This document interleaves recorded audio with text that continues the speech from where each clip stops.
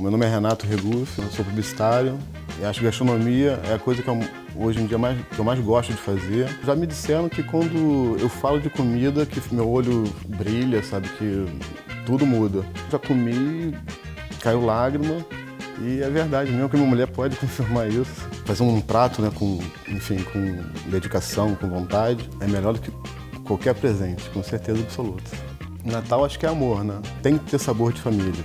Papai Noel, esse tem que estar tá aí presente, não pode dar desculpa de rena que machucou o pé.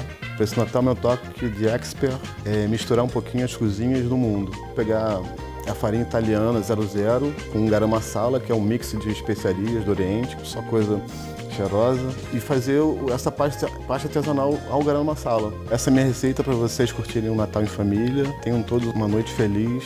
Feliz Natal!